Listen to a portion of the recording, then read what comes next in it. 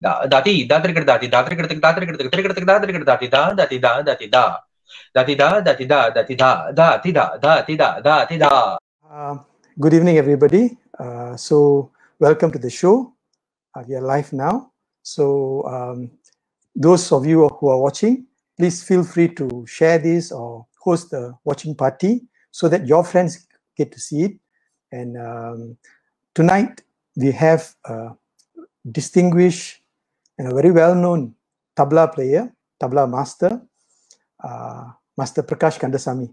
In fact, he wanted me just to introduce him as a tabla player and not tabla master. But uh, I told him, no, as far as we are concerned, you are the master. So we will introduce as tabla master. So, hi Prakash. Okay, welcome to the show. Please tell us what made you choose tabla as a career? Okay, this is uh, you. You want the long answer or the short answer? Take your time. Take give the long answer. Okay. Okay. Well, actually, um, I started off learning dance at the Temple of Fine Arts in 1984. Uh, at the age of 11, I learned Bharatanatyam. Um, and I was also learning violin by that time, Carnatic violin from uh, Kanagamani Vijendra, Srimati Kanagamani Vijendra. And uh, when I was about 16 years old, um, I actually started learning tabla as well at Temple of Fine Arts from my first guru, Sri Suresh Ramachandran. He is a fantastic uh, musician who plays mridangam and tabla as well as flute and he also composes a lot of music and he's also a chartered accountant he's a gold medalist from colombo university if i'm not mistaken sri lanka and he's now a lecturer at university of auckland uh, doing uh, he's migrated there anyway uh, so i started learning from him and then um, i started getting really interested in tabla because uh, even though i was quite good at uh, dancer in those days. Uh, of course, now with my, my, body, no one will believe that. But uh, I, I, used to be able to dance quite well. In fact, I did my dance arangetram uh, in 1990. I was 17, one year I started learning tabla. And um, actually, the funny part about learning tabla was I gave up learning after one month. That's the irony of it. Was I gave up because uh, my teacher um, sorry, not my teacher, my classmates actually were learning mridangam before. And so when they um, started striking on the tabla, there was a, a tone. And if, if, anyone has learned tabla or mridangam, you know in the beginning it is so difficult to get a, uh, just a, get a tone, uh, some some kind of a sound even, forget about tone. So I was going for class and I was watching my classmates you know, making a lot of sound from these two drums. And I was like struggling, no sound coming and all that. So after one month, I told my teachers, sir, I can't do this. I'm going to take a break. Uh, yeah, just stop. So he said, no, don't stop. I know you don't even have a tabla at home. Why don't you take this tabla from the class? He lent me one, use it. And then let's see after a few months, just try and come back. So because he did that, thank God he did that, I went to I went home and I was in Form 4 in that year, in 1989. And that was the honeymoon year. We were supposed to prepare for Form 5, but what I was doing was I was just finding every excuse not to sit down and study. And then I said, okay, let me sit down with the tabla and just muck around and try and see whether I get the, the, the sound. So as I started playing every day, especially my right hand, and then I slowly developed a sound. I didn't know whether it was good and nothing to refer to. And after two months, I decided to go back to the classes to see everyone. And my teacher said, Why don't you play? I came to return the tabla. He said, No, why don't you play? And I started playing. And then he said, Wow, you have really improved. And I actually could feel there was a big improvement myself at that point because I had a point of reference with my classmates. And with that, then I started becoming very obsessed with the tabla. I was on the table in school, in my uh, the tabla. I used to call it the tabla because I didn't have a tabla. So I used the table. I used to use the compass set and draw a circle on the side.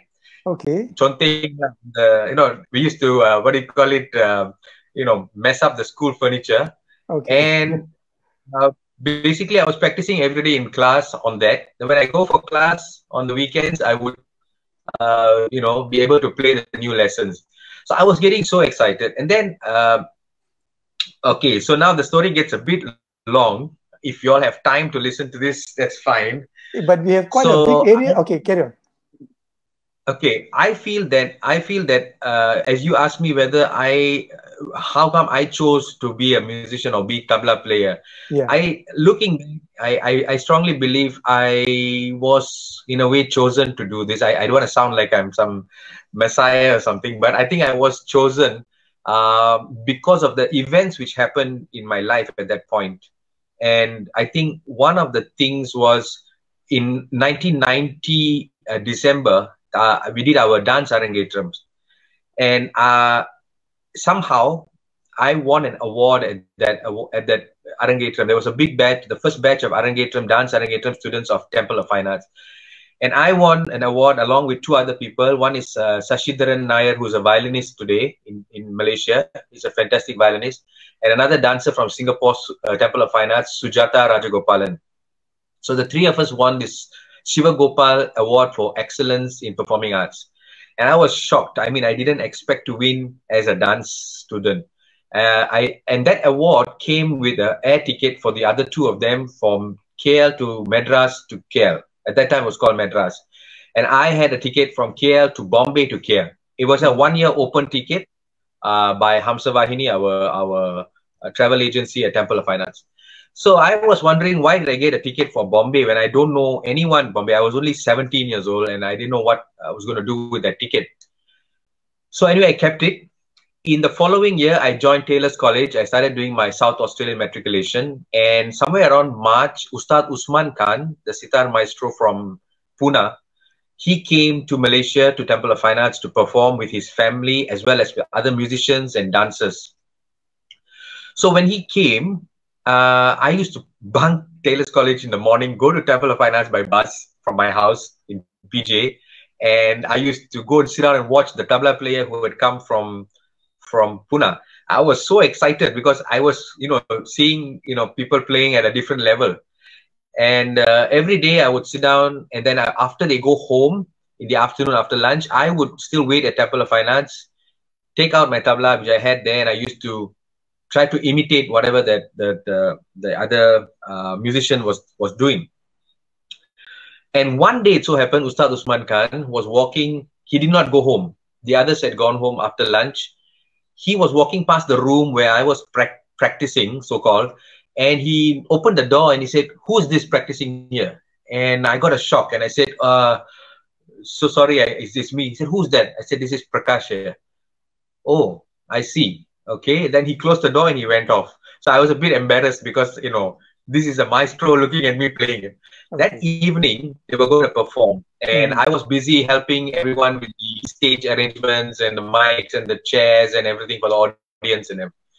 And at that point, uh, I was walking past the room where they were practicing, he and his daughter, and uh, he said, "Come here, come here." He said through the window, and I, I went there and I thought he needed something, so he said, do you have your tabla here? And I said, yes, I do have. He said, can you bring it to, can you bring it to my, uh, to the room now? So I said, okay. I thought he wanted to borrow it. Maybe they needed another tabla or something. So I, I brought it. I left it there and I was walking out. He said, wait, wait, wait. Don't go. Sit down.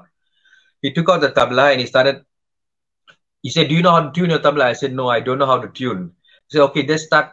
He started tuning it. And uh, after tuning it, he said, sit down and try and play this. Uh, my daughter is playing uh, a Gat in Durga. I still remember the Gat. This is 30 years ago, but I still remember the whole incident.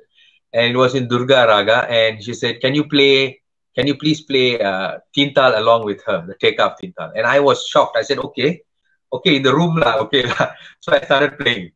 And uh, after I played, he while playing, he said, okay, why don't you solo some, you know, play some small solo in between? And I said, I don't know anything. I said, I, I just know how to play the teka. That's all I know. And he said, okay, fine. Do you have a, because I was wearing a t-shirt and jeans and I was sweating and I was, you know, helping with the setup. He said, do you have a nice kurta with you? I said, yeah, I do. I'm going to change and watch the show after this. He said, no, you're going to change and you're going to join us on stage, he said. And I got a shock of my life. And I said, uh-huh. oh my God, uh, Usman Usmanji, I said I cannot do this. Uh, I'm sorry. I, I, I, was just flabbergasted, and I couldn't say no to him because he was such a great maestro. to say no to someone like that also scary. But I, I was so scared. I just said, no, I can't. He said, no, you're going to do it. And then I, I went to have my, my bath at Temple of Fine Arts. I had my bath. And while bathing, I'm thinking, this is crazy. You know, I went back to him after the bath and I said, I went to his feet. He was standing on a on a staircase, you know, and I was down. I just went to his feet. I touched his feet and I said, I am so sorry. I mm-hmm. cannot play. I said. Okay. And he took my face, he held my face with both his hands, and he said, You are going to play today. There is nothing else. Okay. And that was that was like such a strong force uh, telling me to do it. And uh, Swamiji, the founder of Temple of Fine Arts, was there, and mm-hmm. I played that day. And I don't know what I did. I just survived on the stage, and the other tabla player was playing. He was telling me play something. I said I can't play anything solo. I'm just playing the you know teka the rhythm of Tintal. I was just playing from beginning to end. And after that, uh, what happened was Usmanji actually uh, told me after the show. He said you have a very good talent and good hand why don't you come and study in India for a little while, you know, in okay. your holidays? Why don't you come mm-hmm. and study tabla for a while? You can okay. stay in my house. I'll take care of you. I said, Where's your house? And okay. where do you live? He said, and he said, Pune. And I said, Where is Pune? I didn't even know where Pune was at that point. I was so young, I didn't know India was uh-huh. Bombay, you know. And he said, uh, Pune is like four hours from Bombay. And at that point, I said, "Oh my God, I've got a, I've got an air ticket to do to go there." You know, um, and so it I was said, meant to be. Sorry? It was meant to be. Yeah, it was meant to be. And I went to India and I and the the, the biggest the biggest gift I had was at that point uh, when I went to India. Uh, I mean, all of us in Malaysia, we knew only one or two tabla players. That was Alla Rakha, Ustad Alla Rakha, and Zakir Hussain. Uh, and so for us, that was tabla. And when I went there, I was thinking that he was going to send me to you know somebody else in Pune, you know, not such a big name maybe. But when I went there, he actually told me, I'm going to send you to Ustad Alla Rakha to learn tabla. For those of you who don't know tabla, Ustad Alla Rakha is the father of uh, Ustad Zakir Hussain. Yes. And for me, that at the age of 18, I was, it was a dream. It was just surreal for me because I could not believe I'm going to be seeing them is one thing, but learning, you know, another thing. So I was there for three months um, for my holidays, and I, I, I really, you know, got bitten by the bug. I came back. I had classes with him. That's another story. I'm not going to go there. You, you, you, you, you learned uh, from. And then I came back. You, you learned from. Yes, I had okay. classes with him. Okay, great. Yes, and also, also with uh, his senior student uh, Kedar Karat who is also now teaching at Temple of Fine Arts in Coimbatore. Uh, so it was it was very very surreal for me. And uh, if you ask me, I think this whole experience was what made me think of tabla more seriously. And when I came back to Malaysia, I could not focus on my on my academics. I, I had to do a I was doing some IT course uh, at a college from ICL. It was called, and I I didn't do well. And I after that decided I want to go to Pune and study tabla and do something. But Swamiji from Temple of Fine Arts, when I spoke to him about it, because my whole family, we are devotees of Swamiji, Swami Shantanand Saraswati. So when I spoke to him to ask him for permission, he said, yes, you can go, but I want you to have a degree. I want you to have minimum a degree, you know, okay. so at least get a degree while studying there. Mm-hmm. So uh, I, I, I found out that I could do a, a a Bachelor of Arts in English Literature, uh, believe it or not, at the Pune University in a college which is affiliated to the university. So I myself and Kumar and Umesh that not actually the, the first trip when we went was myself, Kumar and Umesh Shetty from TFA, Kumar Karthigesu, sitar uh, player. Three of us went in December for when I had my holidays, and then when I came back, I wanted to go back again. Kumar also wanted to go back. So uh, we both got admission into the University of Pune, and we okay. got into uh, the course. And then I started learning. I was there for six years finally, the total almost six years, three years for my degree, and then I went back to do my master's. After I got married in Malaysia, I went back after getting married. Uh, and so it, it has been it has been for me when I look back when I came back and I, I and I did this knowing fully well my parents were not too happy but Swamiji was the one who really backed me up and said, no, he told them, don't worry, he'll be fine. This is what he's, he, he's, he's going to do. He's going to be fine in that. And uh, if not for Swamiji giving me the encouragement, um, in the literal sense of giving courage, you know, encouragement, if he was not the one there to do that for me, uh, I don't mm-hmm. think I would have continued. So I think okay. I think the big part in my life is Swamiji's uh, constant uh, saying to me, yes, in the face of society which has got its worries about living and surviving, which is very true and very real, uh, somehow everything has fallen into place. So uh, I do think that um, I do think that our my, my, my, my being in this is, is not totally my choice. It is it is a, a thing which is like a conspiracy to get me into it because I like to do it. So I guess that's the long answer for that one thanks, shot. Thanks. Yes, thanks. Uh, very interesting. Uh, I, I, think looking at it from from our perspective, uh, it is destined yeah. to be. And uh, yeah. okay, um, not many people know this, but of course, you, you mentioned it a little earlier that uh, you were also yeah. a dancer. You took. You took part in that Dunhill advertisement. Just tell us uh, uh, briefly about that experience, uh, taking part in dance programs and uh, uh, Arangetram. Yeah. Okay, I think the the dance part, I had a natural ability and a skill. Um, I, I don't know how, and I had a very good teacher. My teacher in Temple of Fine Arts is uh, Vasuki Sivanesan, Srimati Vasuki Sivanesan, who is actually also the teacher of a lot of the good dancers in in TFA.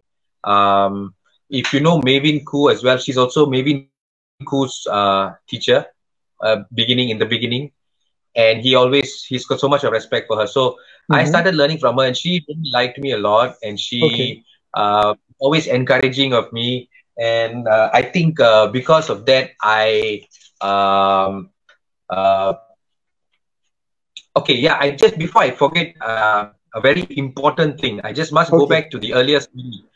Um, I just got a, I just got a reminder, and yeah, it's not, it's somebody not pass you a note. That's okay. Yeah.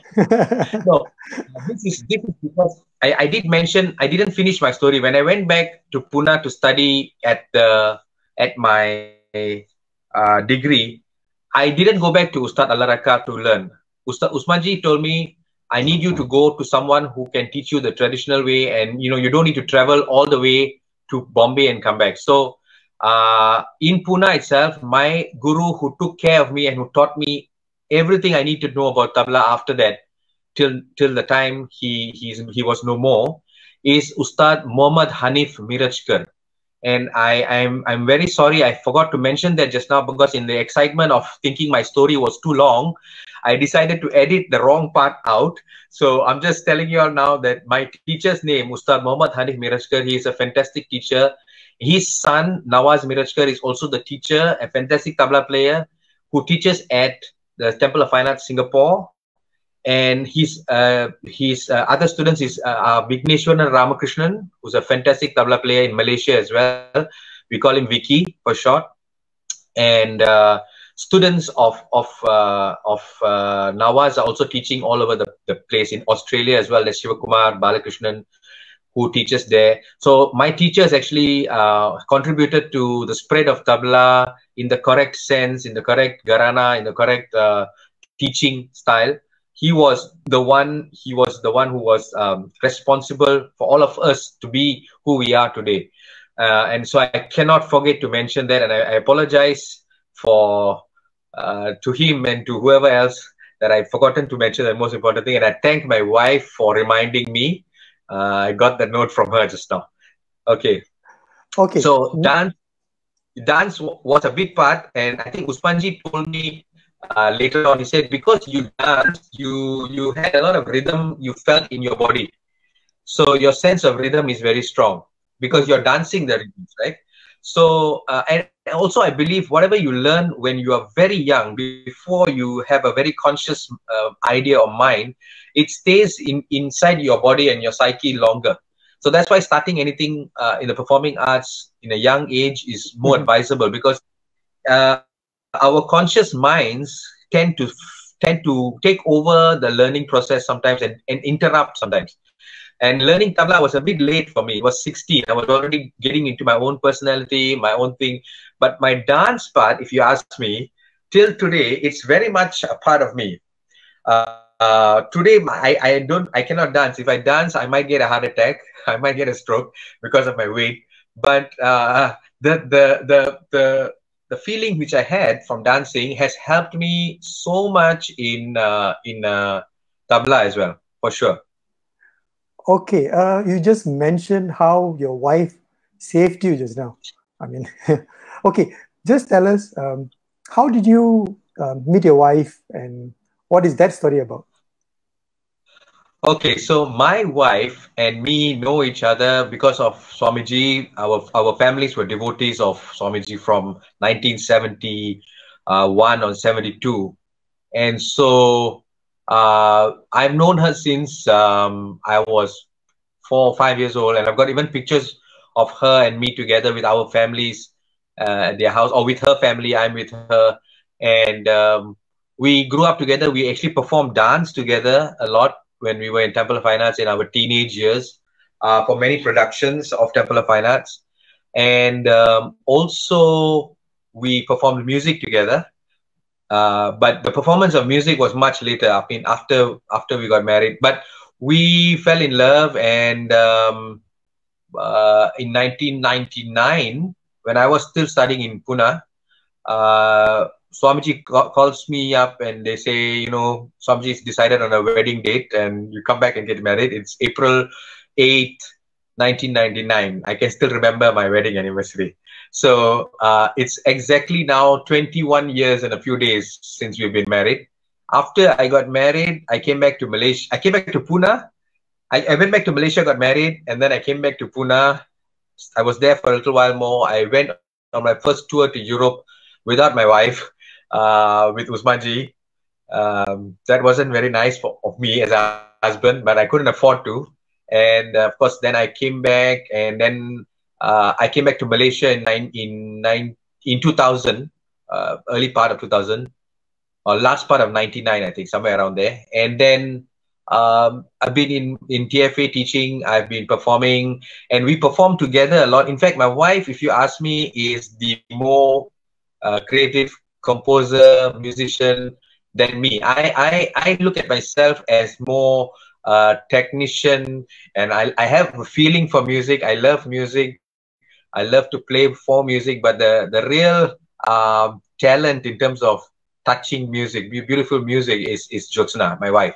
And, uh, and somehow, and that's why I, I, think sometimes it is to do with, with uh, a lot of do with good fortune and luck and some kind of weird astrological thing. I don't know.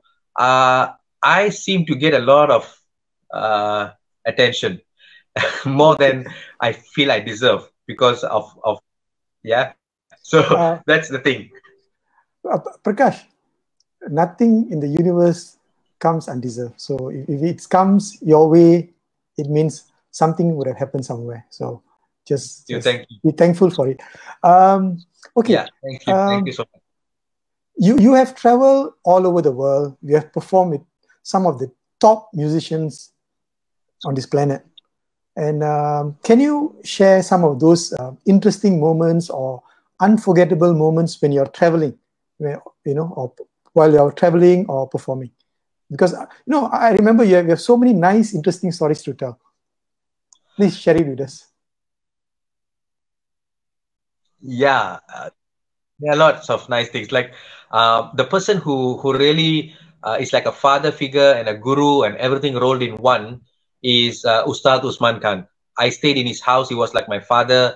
He taught me so much about music, about practice, about everything. Uh, with his blessings, I got I got a lot of places. Um, I think without him, he's the other big big figure in my life, right? Uh, I can't go on about him, but I've traveled with him quite a bit to to Europe and to Korea and uh, uh, to even Australia a few times.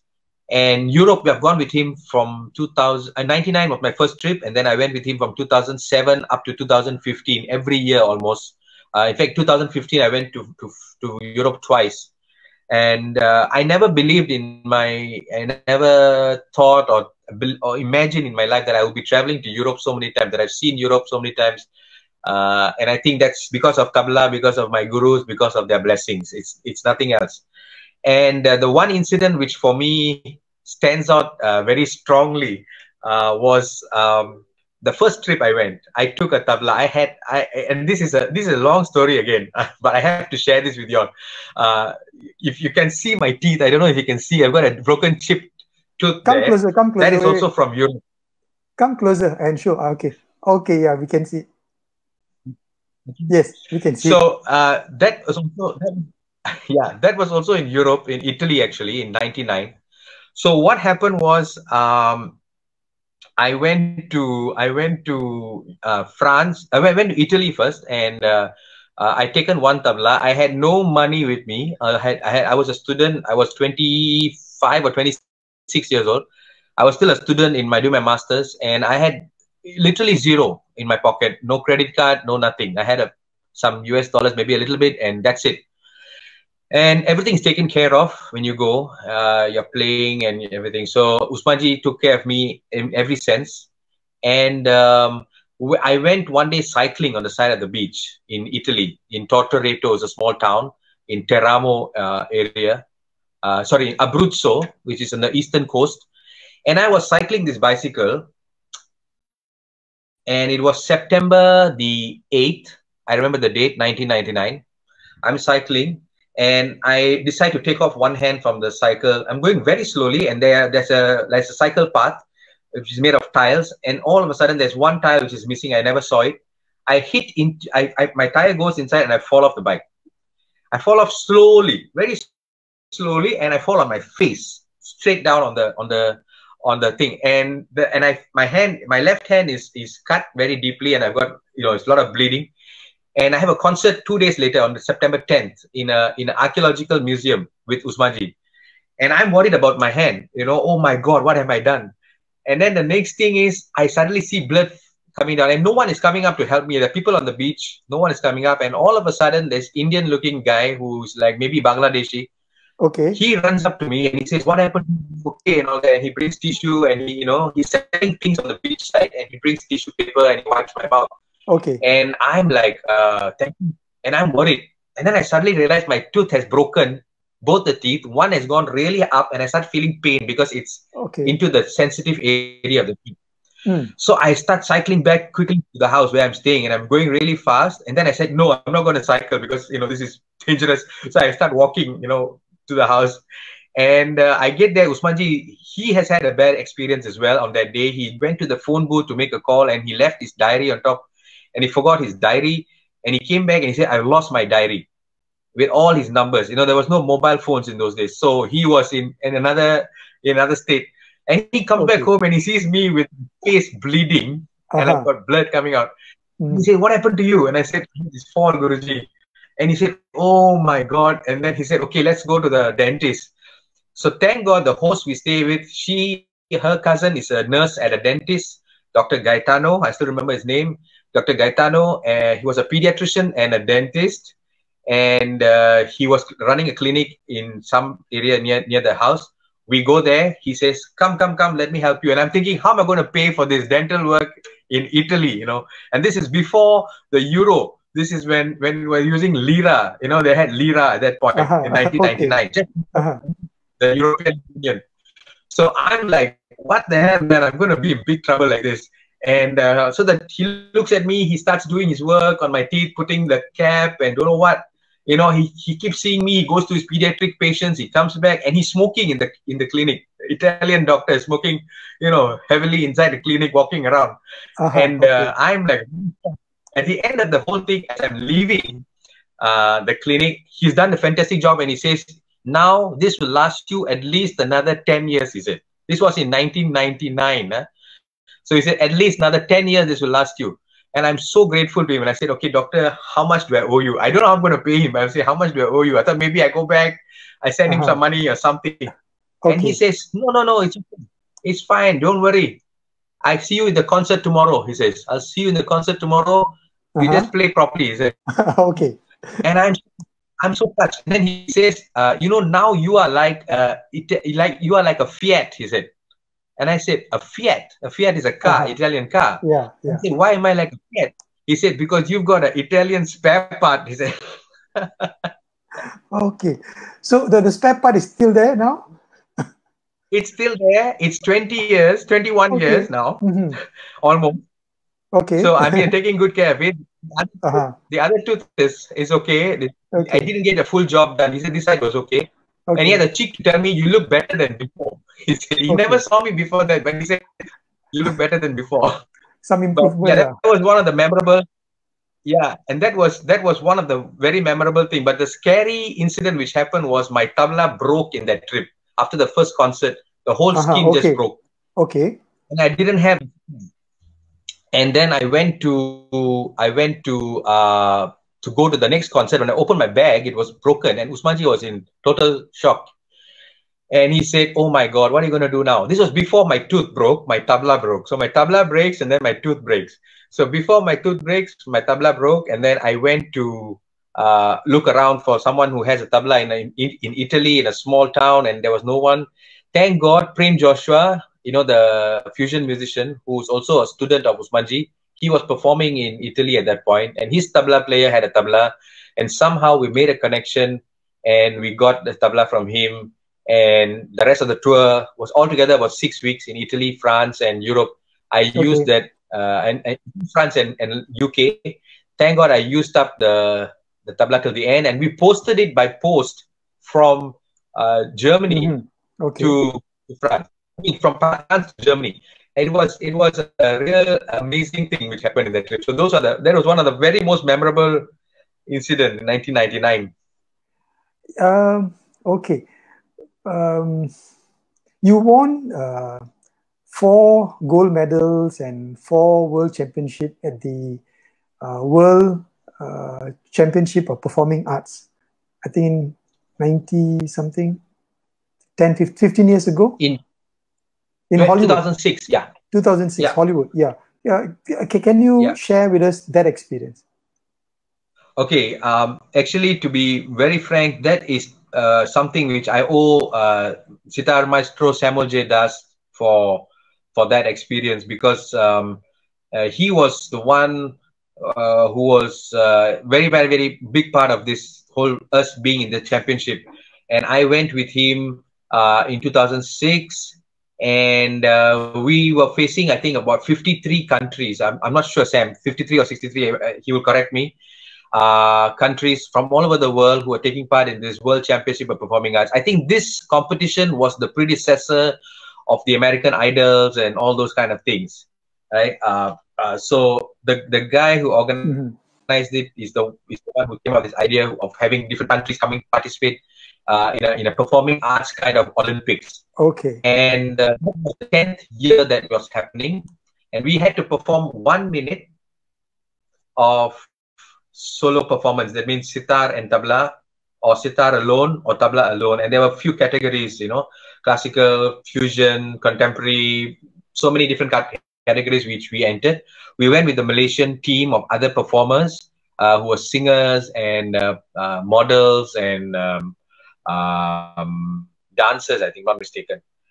So that trip we went, and uh, the the experience was quite surreal as well. Again, because we never expected to win so many medals, uh, so many gold medals. Actually, uh, we every day we go in the mornings. We would uh, be told to go to this venue for the um, championship. We're supposed to play. We play. And while we play if we are not we don't have a sound check. If we don't we are not happy with the sound they told us you cannot look up and or put up your hand and say excuse me i'm not happy with the sound. We can't do that because what they are checking is how you are as a performer regardless of uh, the situation you know if there's a problem with the mic or there's a problem you're still in performance mode. You're still uh, confident. You're still not going to let that affect you your performance. So all you have to do apparently they told us was you put your head down and uh, we will come to you and ask you what you need. And if what we can repair what you do then you start back again. Again, if you're not happy, you look down. So sometimes we had to keep keep doing that until we got the right sound, and it was quite Okay. disturbing because you know you want to start playing for that one minute and you cannot start. But we did it, and every evening we wouldn't know whether we got through, and we won't know the, till the next morning at 6 a.m. We used to come down from the hotel room. We were staying at the Marriott in Burbank, California. We came down to the to the lobby, and we would see our names, whether our names were on this list. The list would get shorter and shorter as the days go, and every every morning we would see our names there with some other you know participants. So we go back, get ready quickly, and get back in the bus, have breakfast, get back into the bus, and go to the next venue to to do our next round. And so we went on like this right till the last round.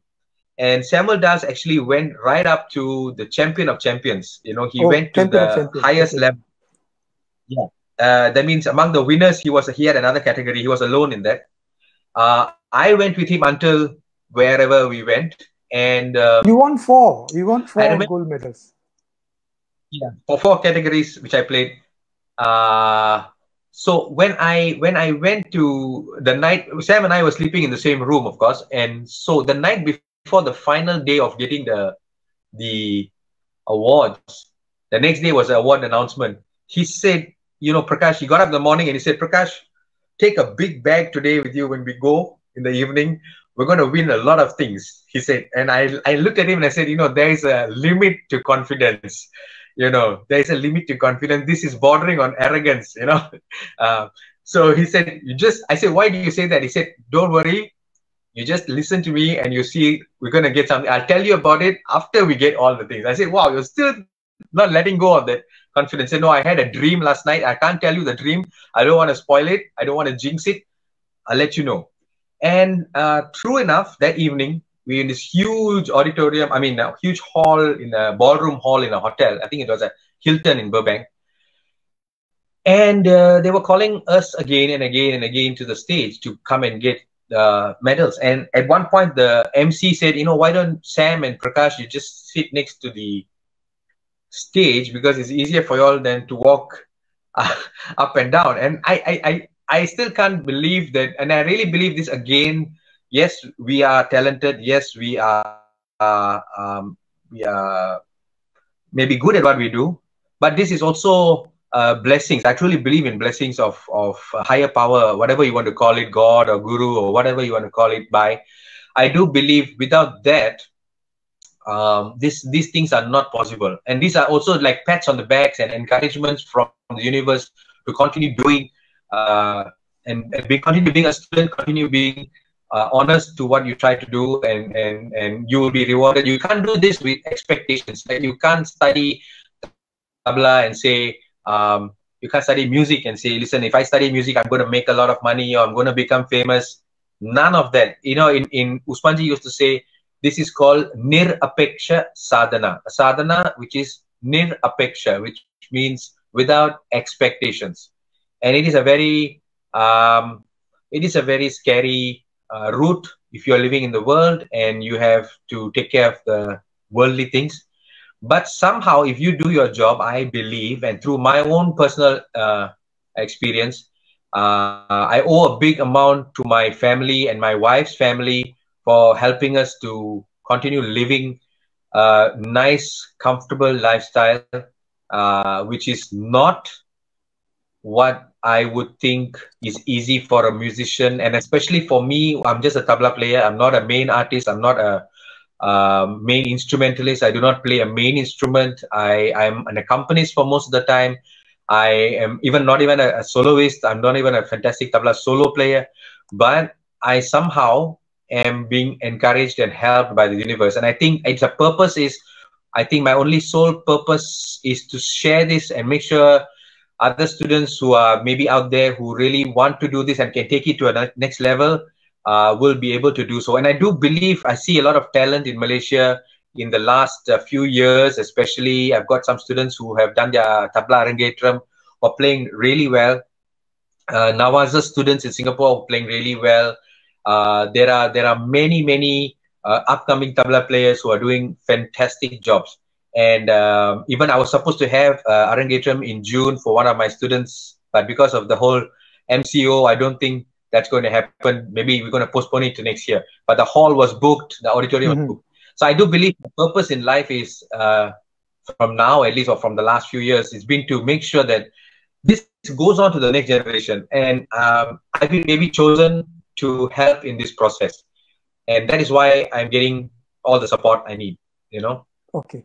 Um, okay. I've promised your fans that you will perform uh, a few pieces for them. But before we go to that, since you already touched on it, I used to ask, what is that? Usually I, I ask this at the end of the session, but I ask you now, what is the one philosophy of life that you live by?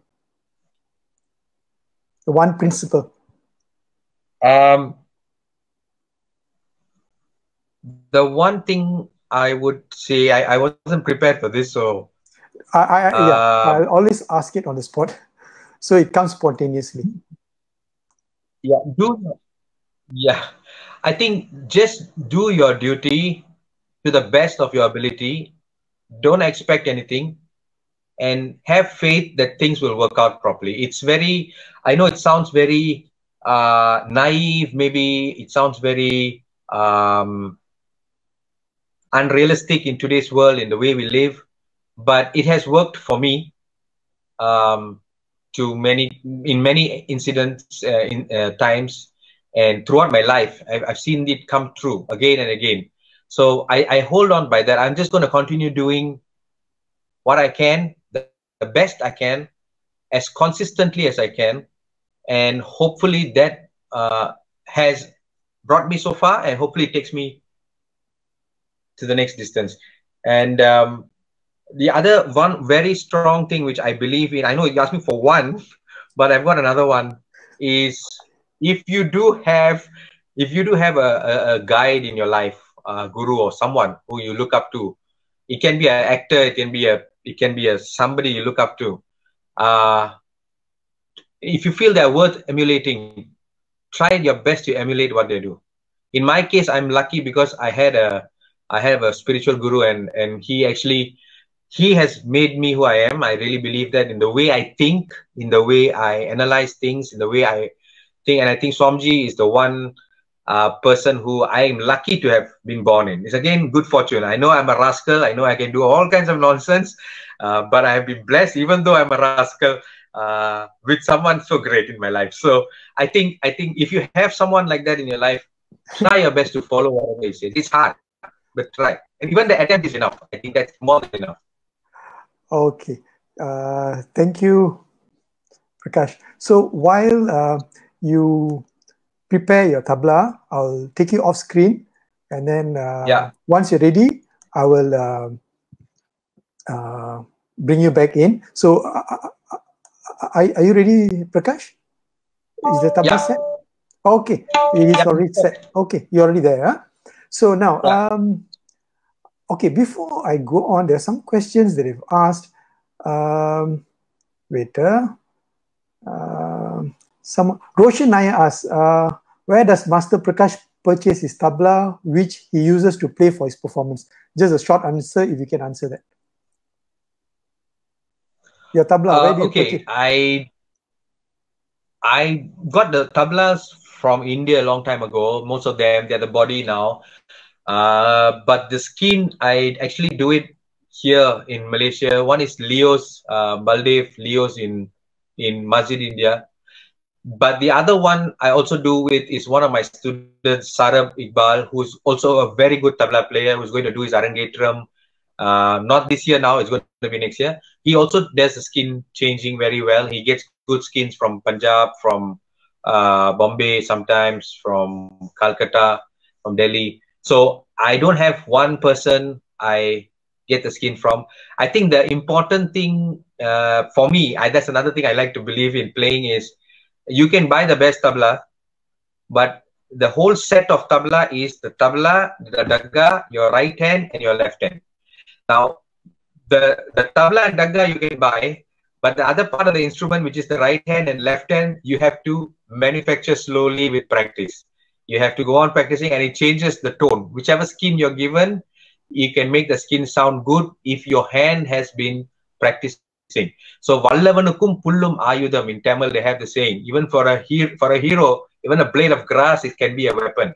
So if you know your hand is, is able to move and and you practice properly, correctly, any tabla should sound good. Of course, there are better sounding tablas which are easier and more resonant, but uh, your your focus should be more on getting your hand right. Okay. Right, tabla can easily be gotten. Yeah. Only a genuine uh, and a well-grounded artist can say what you have stated just now. It's uh, so beautiful, and, and it gives an insight to, to the type of person that you are. Uh, thanks. Okay. Um, oh, and and uh, later, just in case uh, that I don't forget, you said Vallavanuku Pullum Ayudam. Tabla is just a, a instrument that um, accompaniment, you know, but you can make your tabla sing. I've heard it sing. It can actually sing. So later, can you please demonstrate that for us? Right now, uh, yeah, please demonstrate for your students or, or your, your fans. They're all waiting for you. Okay. Um, I, I, you see, the thing is uh, to play something online like this, number one is sound is not fantastic. You might not be using headphones. You might just be having the right side sound coming more. Um, so I'm just going to play some some tukras. I'm going to say the tukras and I'm just going to play them, just one or two, two or three tukras, and uh, I'm going to end with that. Uh, not too much because I'm not going to do justice to it through this thing. So uh, the speed is, you know, da din din da da din din da da tin tin da traka din din da da din din da da din din da da tin tin da traka din din da da ti da traka da ti da traka da traka da traka da traka da ti da da ti da da ti da da ti da da ti da da ti da da ti da da ti da da ti da din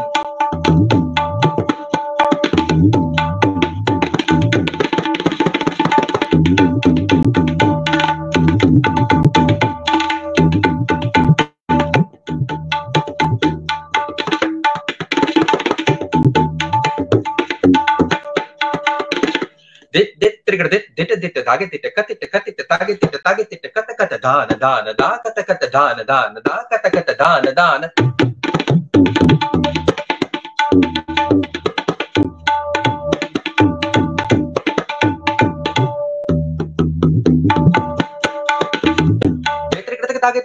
ginada tunna ginatuna natuna natuna natuna kata ginatuna natuna natuna natuna kata ginatuna natuna natuna natuna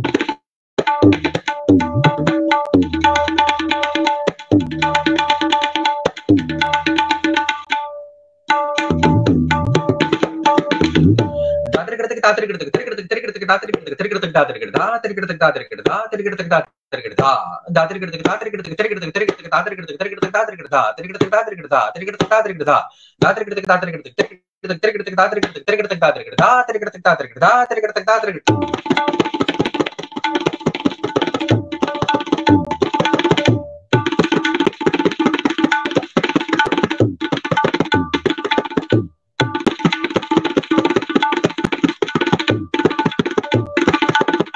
sorry about that. The camera went down. Okay, so don't that's, worry, that's about it. That's beautiful. So okay, that's, no, a, that's a, we're not going to let you yeah. go. Okay, your tabla, you can make it sing happy birthday to you. So yeah, we like to listen to okay. that.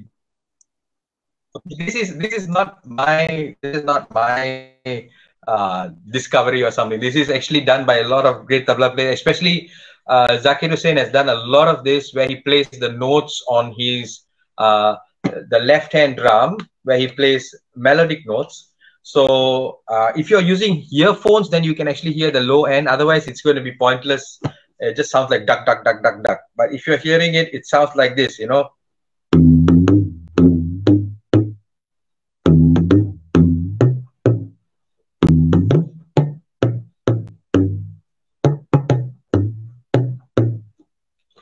So that was happy birthday.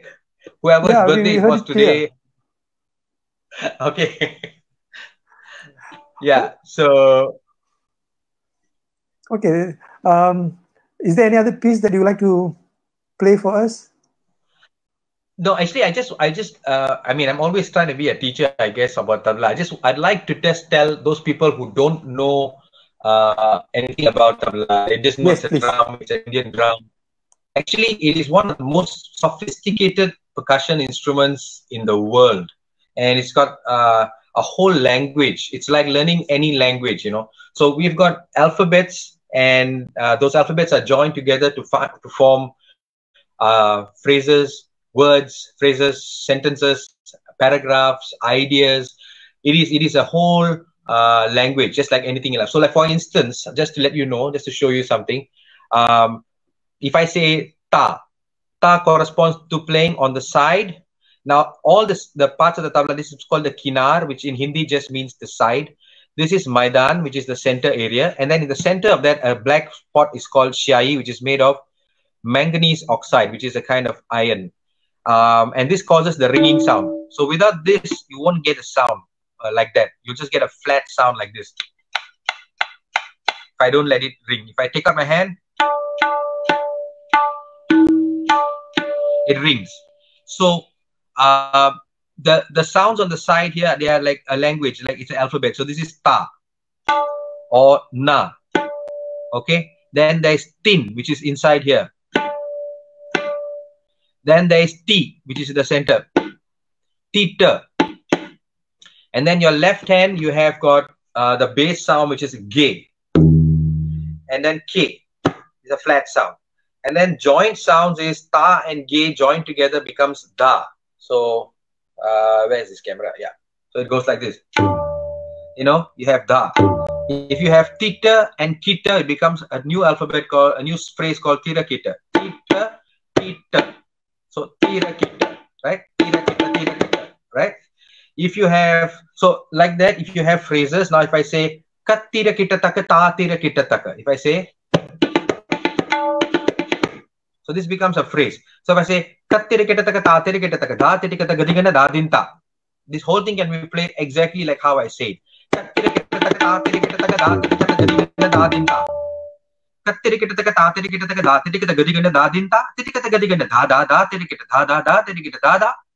So it was a whole sentence.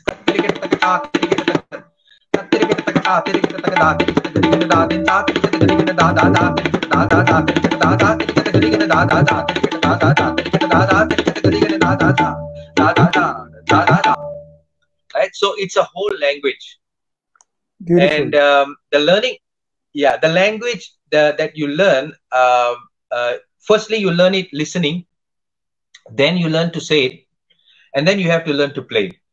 So it is actually the literal translation of thought, word, deed, or action so all three have to be aligned together and that is a yoga if you ask me this is it is nothing but yoga because yoga is the joining of your all your yourself your three different four different selves your mental self your emotional self, your physical self, everything comes together. And what you say has to match what you do.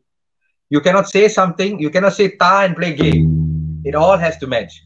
So uh, I, I realized, like my teacher used to say, you know, he used to say that uh, knowledge can be transferred from teacher to student, but skill is non transferable.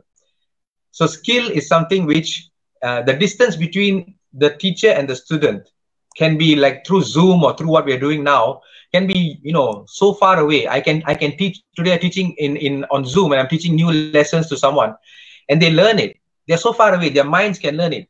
But the, the longest distance is actually between your own mind and your own hands because to transfer that from your own body into your from your own mind into your own body takes a lifetime sometimes. It takes regular practice. It takes you know you teach yourself how to do something then you teach to improve it you practice then you practice to maintain it. So it's just different levels of practice going on and on and on and, and it just sucks out your time to think about anything else. It's just it's just such a, a self uh, absorbing thing so beautiful you know you put it so beautifully you know about that the distance between the mind and the hand that's so beautiful such an insight and also It's not mine. That's my, but that's my teacher's words those are my teacher's words not mine yeah, Yeah, I'm, I'm I- just I- trying to emulate i'm trying to hope that i can live up to that one Oh, so humble of you. No, um, the other thing about uh, knowledge, the difference between knowledge and skill, that, that's beautiful. Again, you know that uh, knowledge can be transferred, but not skill. Fantastic, beautiful. And um, okay, before we go off, um, uh, okay, this Sarasa Krishnan uh, just asked you, you see um, whether you've covered uh, what is the most challenging aspect that you have experienced in your journey. And then the other one is uh, Surya Kumar Bhaskaran asks, what is the one routine you have, Anna, that you do during every yeah. practice? You want to take that question? What is the one routine? Sorry, sorry. What who was asking the question again? Surya Kumar Bhaskaran. What is the routine that you have during every practice? Oh. Well, uh, I think uh, firstly, even now, I think always start with very, very slow speed. And I think uh, it cannot be emphasized because I tell you, at this point in my life, my body, I'm 47 years old. And uh, the last one year or so, I've been having a problem with my hand. Uh, one of my students is a hand specialist, and he's called, he said I might be having CMC arthritis, which is a carpal metacarpal arthritis, which is the joint between the first finger and the thumb because of overuse. So I've been struggling actually with that because I've been forcing myself maybe to do things at a speed which is not right. And so my body is teaching me to slow down and then start. Don't jump inside. So even just now I was playing, I was suddenly jumped into it. I didn't warm up, okay. nothing. So I think importantly, Surya Kumar, uh, I think that's Suraj, if I'm not mistaken, from JB. Uh, the important thing is start slow. Start very, very slow where you're comfortable. And when you, when the, I mean, for me, I'm not I don't know whether this is correct, but your breathing, you should not feel any tense in your breathing when you're playing a phrase. And you want to play it for without having any kind of struggle. So you're playing without uh, without uh, holding your breath. Because in yoga, just like in yoga, there's two principles in yoga. One is called sthiram and one is called sukham. So sthiram means steadiness. It is very steady. And sukham means there is ease, there's comfort, there's no strain. So if you're playing a phrase and if you find that you're not having these two principles or these two things are not qualities are not there in your practice, then means you're playing the wrong speed or you're playing the wrong volume or you're playing something. So always play in the most relaxed way. Try to breathe normally and try to see whether you are getting stiff anywhere. Sometimes we don't even realize, you know, that we are getting stiff somewhere. So try to be very relaxed and play that for a long time. And suddenly, if you're playing it for a long time, uh, speed is the byproduct of clarity over time. This is my mathematical equation after many years. Okay. Speed, speed is the byproduct. is not a product. You don't aim to get fast. It's a byproduct of clarity over time. So, so you go on playing. Target target is not that your target is clarity and over long period you can play clearly you will see after suddenly it's like a plateau you'll be going every day like this you know every day wondering i'm not getting any faster never mind just keep going suddenly pop your body will take you up suddenly you say oh my god i've jumped up like so many stories up how come i'm there and then you plateau again on that level but then now you're plateauing with the confidence that if i plateau consistently i will suddenly jump up again so it's always plateau jump up plateau jump up. So always be relaxed, nothing to worry about. It will happen, the speed will come. But everyday practicing is more important than practicing three days once or four days once. The body needs to learn because Usmanji says this, you know, he says that's called Sharira mm-hmm. Dharma, the okay. law of the body. And the Sharir Dharma is to forget. Body will forget. Mind will remember. Body will forget. So in order to make the body remember, you have to practice. There's no shortcut. You you have to go on practicing every day, and your body remembers then only. Even if two days you don't practice, suddenly you when you come back the third day, you feel oh my god. And I'm sure Dato Muru, you also uh, learn mm-hmm. sitar. You know that if you've been practicing for a show or some sadhana show, and then your hand is moving nicely, suddenly all of a sudden you finish the show, and then few days later you decide to take the sitar again, remembering how you played few days ago, your body is not reacting. Am I right? Yeah, yeah. You know, like um, you know, if, if you practice consistently every day, and then you don't practice for two or three days, then when yeah. you go back again, actually you, you you don't pick up from where you have left. You would have actually slide down back. So just to maintain at that level, you have to practice every day. Very true. And, uh, then uh, what more to improve? I think it takes even a longer period. But That's if right. you stop, you just slide down. Yeah, and um, okay, yeah. I have to share an experience or, or yeah, what I've observed right. about you. Uh, not, not, I mean, okay. So, uh, when we were traveling to, yeah. um, um, when we were in New Zealand, um, I followed Swara's team uh, and all the musicians and dancers to New Zealand. And we were there, I think, for almost 10 days. And um, so we had a lot of time to do sightseeing, rehearsals, and all. And um, what I noticed was uh, Prakash was one of the most senior artists there, the one of the most established. But every day, without fail, whether we are traveling or whatever else that we did, he'll make sure that after breakfast, he will practice. So you can, you, because you can hear him practice in his room every day without fail, no matter what. So that is something that really made an impression on me. You know, like um, amongst the, all the other artists, if he does not practice for a day or two, doesn't matter. But he made it a point to practice. So th that's what I um, uh, admire uh, uh, in, in, Prakash. And uh, so that's the thing. Anything else you like to add? Thank you. before we leave? Thank you. Master Prakash, uh, anything else? Uh, you want to no, thank not, anybody or say anything, you know, just in case? Any point? I want Closing? to thank, I want to thank, I want to thank you, Muru, for firstly um, ha having this initiative to to interview people uh, like me and so many other people like Sam and artists. And I think I think this is a fantastic way for us to voice um, our ideas of things. And uh, we have the time now. We have the conveniences to do it through the internet. But it Thank needs you. someone to want to do it, and you and you made it happen. And I and I really want to thank you for this. Uh, wish you all the best. That you all your other guests as well. Um, you know, can contribute like this. I mean, in Thank you, way. thank you, Mr. Prakash. You know, I mean, uh, uh, sometimes, you know, we had connectivity issue and all, but thank God today, not too bad. And uh, I, would really like to thank you for yeah. taking the time and trouble uh, to, to appear on this show, you know, because um, it's just the beginning, uh, start, I mean, um, initiative. So uh, a well-known artist like you can easily say no and, you know, but you have been kind no. enough to accept this and, and come. So thank you so much. Okay. Uh, and uh, thank you. Thank uh, I'd like to thank all our viewers uh, for joining us, those who have given comments, uh, those who have liked and shared this program. Thank you so much. And um, I like to say this. See, uh, among all of us affected by MCO, but I think artists are more affected than the others. So whatever way that we can to support and help artists, uh, we should help because um, being an artist is not easy because you have to dedicate they are they are dedicating their entire life to this you know. So they don't have time to look into businesses or think about uh, social media or those kind of things. So all the time is just taken up in preserving and developing their art. So it is um, people like us that we should come forward and, and do whatever we can to help them to preserve the arts.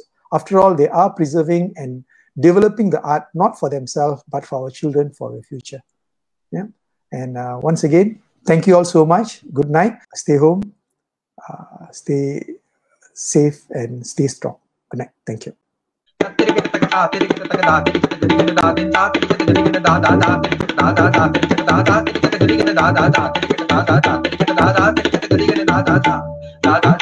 da da da